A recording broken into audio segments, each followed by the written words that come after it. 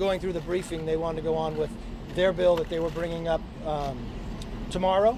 The president's been very clear that um, it's not not the bill he would support, and um, Leader McConnell had said he's not bringing anything up that's not going to become law. So he wants to make sure he solves it.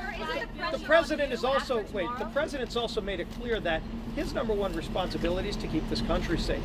And Secretary Nielsen wanted to go over some very alarming numbers, things that are actually happening at the border, what's happened last year. Last year alone, there were more than 3,700 known or suspected terrorists that were stopped from entering this country. So there are a lot of bad things happening, and the reason he wants to secure the border, the bill we passed in the House, that was the start of the negotiations, was over five and a half billion dollars for the fiscal year. They haven't put a counteroffer on the table. You saw the vice president negotiating. The president and vice president stayed here over the Christmas holidays, and there was absolutely no negotiation from the other side. So they want to keep delaying and have a government shutdown while President Trump has said he wants to secure the border.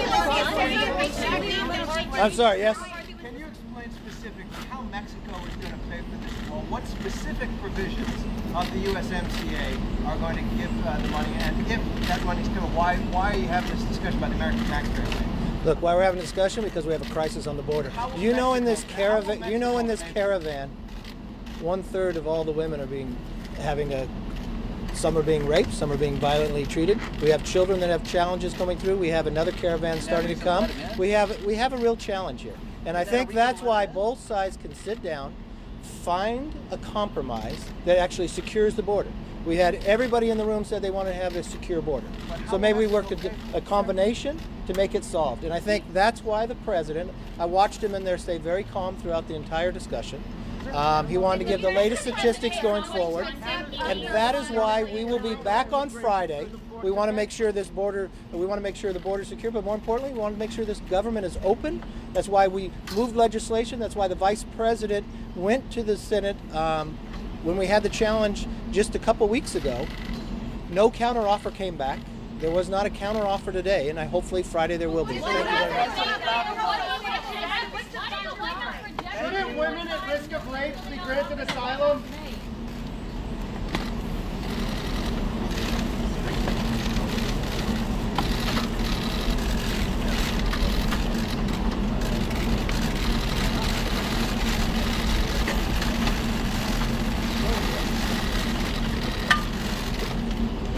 Good afternoon, everyone. We just, So what's your side? Harrison, you, please let us tomorrow we will bring to the floor legislation which will open up government. It will be based on actions taken by the Republican Senate, of bills that have passed on the floor of the Senate by over 90 votes and or in committee uh, unanimously, uh, led by Senator Mitch McConnell. It will also uh, present in a separate bill uh, the bill that Mr. McConnell did for the continuing resolution for the Homeland Security Bill until February 8th, using his exact date. We have given we have given the Republicans a chance to take yes for an answer. We have taken their proposals unamended by any House bipartisan uh, amendments, but but just staying true to what the Senate has already done. Our question to the president and to the Republicans is why don't you accept what you have already done to open up government? And that enables us to have 30 days to negotiate for border security. Democrats have been committed to protecting our borders. It's the oath of office we take to protect and defend. It has been very important to us, and we have committed resources to it when we were in the majority and will continue to do so. And I'd Wait, like no, no, no. You're going to let us each speak, oh, please. So I'll yield to the Yeah, distinguished. thank you. So the bottom line is very simple. We asked the president to support the bills that we support that will open up government. We asked him to give us one good reason. I asked him directly. I said, Mr. President, give me one good reason why you should continue your shutdown of these of the eight cabinet departments while we are debating our differences on homeland security. He could not give a good answer. So we would hope that they would reconsider and would support the very bills that passed the Senate, four of them 92 to 6, two of them unanimously in the Appropriations Committee with Mitch McConnell's support. The only reason that they are shutting down the government is very simple. They want to try and leverage that shutdown into their proposals on home on border security. We have we want strong border, border security. We believe ours are better. But to use the shutdown as hostage, which they had no argument against, is wrong. And we would urge them respectfully to reconsider and support these bills, which are bipartisan, one of which Mitch McConnell proposed, open up the government as we continue to debate what is the best way to secure our border. Do you see this lasting very long, the shutdown? We hope it doesn't. And we hope that they will not use the American people, the millions who depend on these eight departments, and the workers who are either not working or not getting paid as hostages to have a temper tantrum, pound the table, and say it's our way or we hurt all these people. We hope that won't happen. And again, they couldn't give us one answer why they wouldn't support the first bill that Leader Pelosi and Leader uh, that Speaker Pelosi and Leader Hoyer will put on the floor that will open up the government.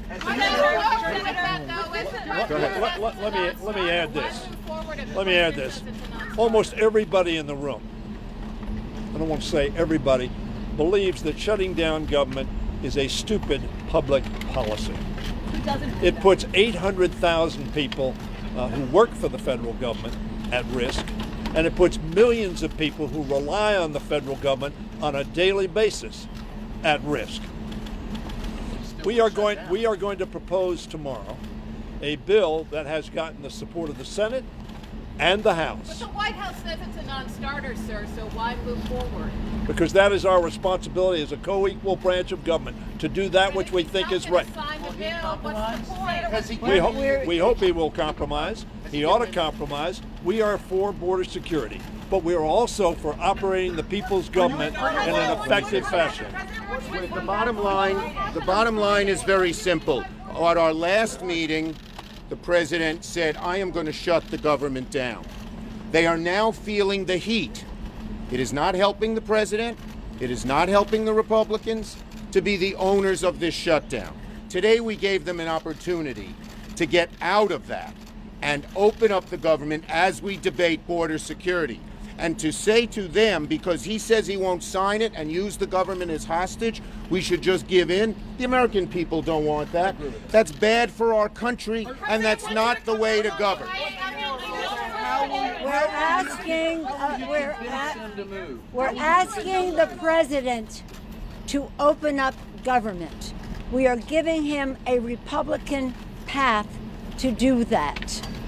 Why would he not do it? Except, why would he not do it? Is this a stunt, Senator?